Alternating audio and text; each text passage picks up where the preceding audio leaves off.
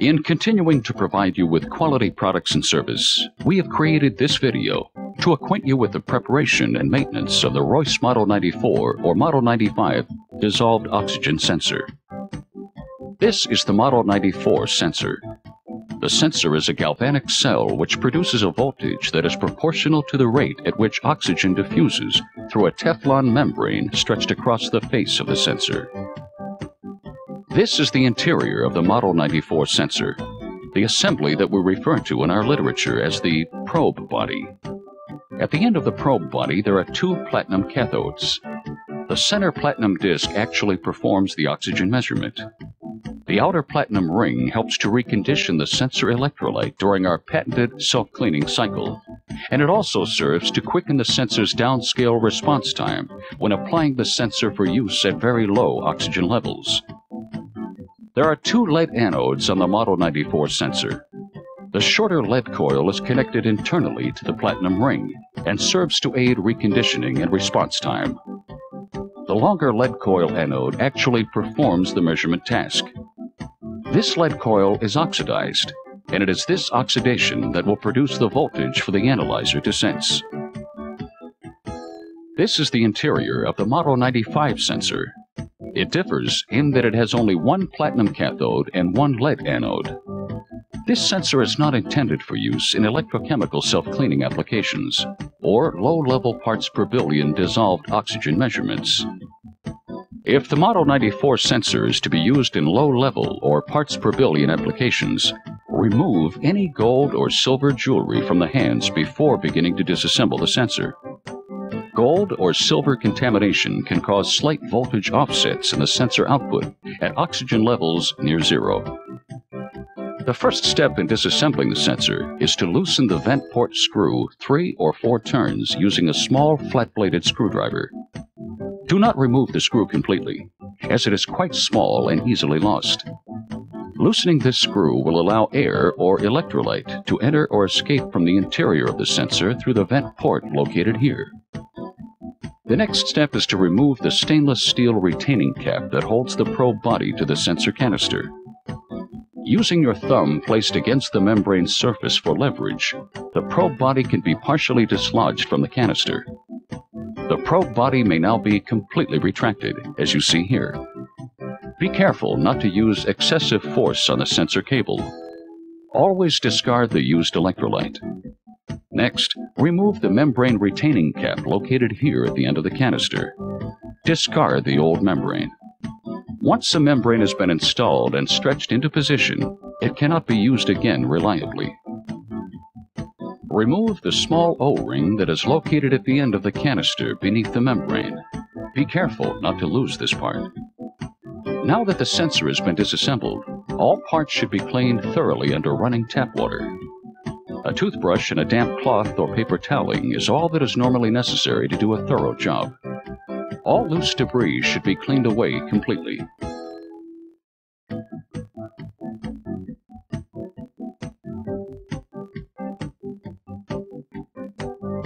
The lead anode should never be cleaned down to the bare metal. The lead should at least have a light coating of oxidation, as you see here. This light oxidation is beneficial to the stability of the sensor. At this point, inspect the port vent holes to be certain that they are not clogged with debris.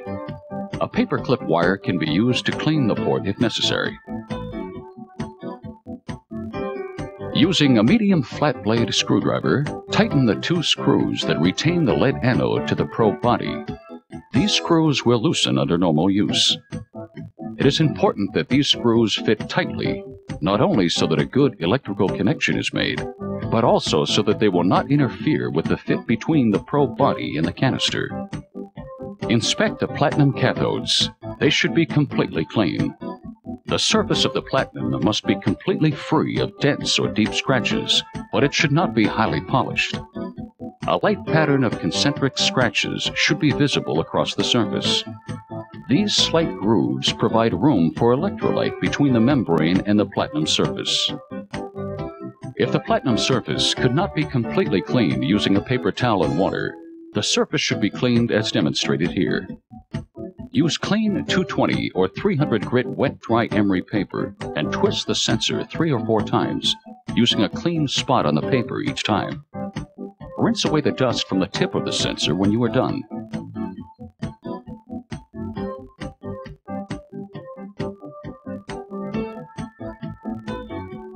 We begin reassembly of the sensor by first lubricating the membrane O-ring lightly, but completely, with a silicone-based lubricant. The O-ring may then be placed on the end of the sensor canister.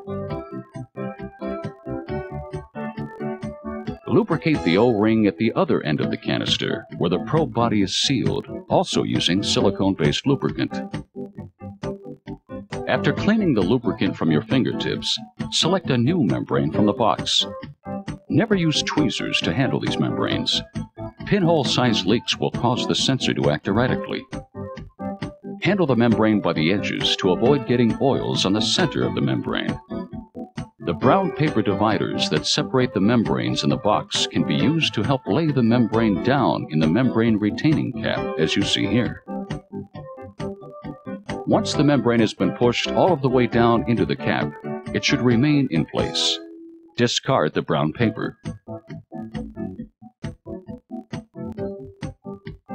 Once the membrane is in place, screw the retaining cap down onto the sensor canister until it is snug. Do not use pliers to tighten this cap. Invert the canister and fill it about one-third full of electrolyte. Be sure the electrolyte is clear. If not, be sure to follow the instructions on the label of the electrolyte bottle. Tap the sides of the canister to dislodge any air bubbles that may be trapped at the membrane.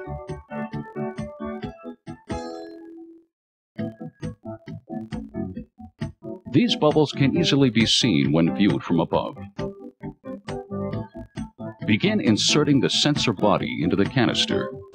Push the two parts together until the O-ring forms its seal. Be careful not to cover the vent port with your fingers so that air and electrolyte may escape without ballooning the membrane. Unless the sensor will be used in a pressurized application, it is desirable to trap a small quantity of air inside the sensor. When held at the angle you see here, an air bubble that is roughly the size of a quarter should be trapped inside the sensor. With the vent port facing upward, excess air can be vented from the sensor. Once the proper size air bubble is achieved, rotate the vent port down so that the electrolyte is vented while the two pieces are completely joined. Be sure to align the keyway in the canister with the body. Do not force the two parts together suddenly or the membrane may balloon. Once the two parts are completely joined, tighten the retaining cap by hand. Once the sensor is completely assembled, this is roughly the size of the air bubble that is most desirable. Inspect the surface of the membrane. It should be perfectly smooth and free of all wrinkles. To check the membrane for pinhole size leaks, first dab the membrane dry with a paper towel. Next, rap the sides of the sensor with your hand a few times. Now check the membrane again. If droplets of electrolyte have appeared, you may have a pinhole leak. If so, you must reassemble the sensor to install a new membrane. As the final step of the sensor assembly, tighten the vent screw. Do not over-tighten this screw. It is only necessary to bring it down until it makes contact internally.